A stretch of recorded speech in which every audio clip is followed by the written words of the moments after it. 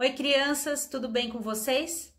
Semana passada eu li para vocês, contei a história A Volta pela Cidade e nessa semana o JP, a Gleice e a Karina vão contar os três finais que foram escritos pelo Gianni Rodari, que é o autor do livro.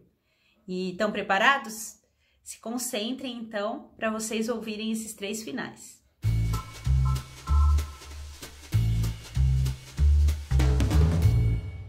Enquanto reflete sobre como resolver o seu problema, Paulo tem a impressão de que o herói, do alto do seu cavalo, inclinou a cabeça.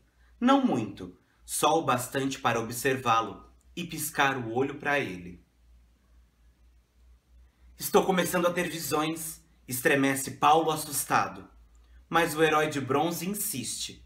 Agora, decididamente abaixa a mão que aponta com firmeza para a meta e faz um gesto convidativo. Suba, ele diz.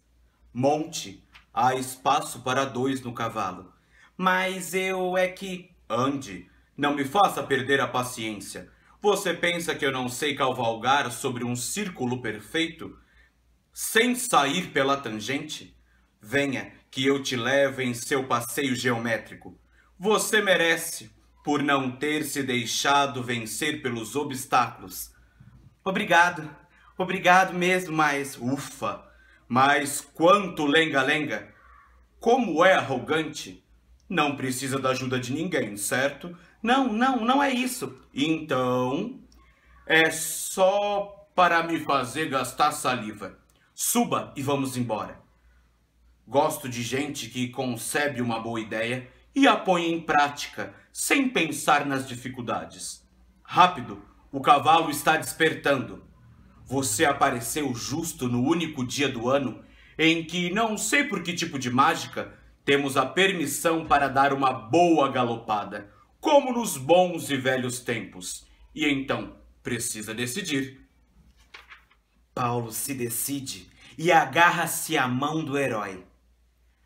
Já está na cela já está voando. Eis a cidade a seus pés. E eis desenhado sobre a cidade um círculo de ouro, uma perfeita estrada cintilante, tão perfeita quanto aquela desenhada pelo seu compasso.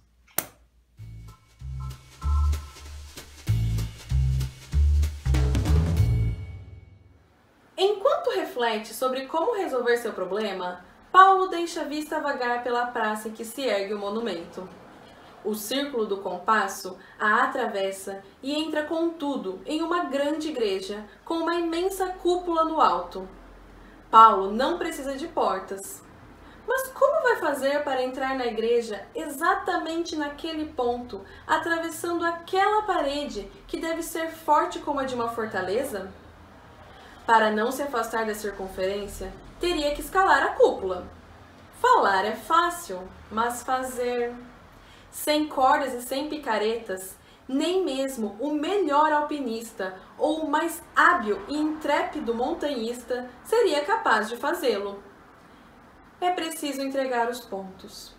Foi apenas um belo sonho. As estradas da vida nunca são tão perfeitas, ideais e precisas como as figuras geométricas. Paulo dá uma última olhada para o herói, que do alto do monumento aponta imóvel e severo uma meta distante e inalcançável. Depois, a passos lentos e desanimados, volta para casa, seguindo indiferente o zigue-zague caprichoso e irracional das ruas de todos os dias.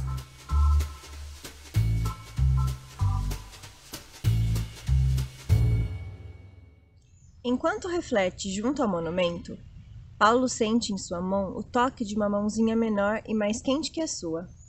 Quero ir para casa. A vozinha insegura e trêmula pertence a um garotinho de uns três anos. Ele fita Paulo com um misto de confiança e de temor, de esperança e de pavor. Seus olhos têm uma grande vontade de chorar. Onde você mora? O garotinho indica um ponto vago do horizonte. Eu quero minha mãe. Onde está a sua mãe? Lá. Mas também esse lá indica um ponto impreciso. A única coisa clara é que o menino se perdeu na cidade e não sabe encontrar a rua de casa. Sua mão agarrou firmemente a de Paulo e não a abandona. Me leva para minha mãe. Paulo gostaria de dizer que não pode, que tem uma coisa mais importante a fazer, mas não se sente capaz de trair a confiança que o pequeno deposita nele.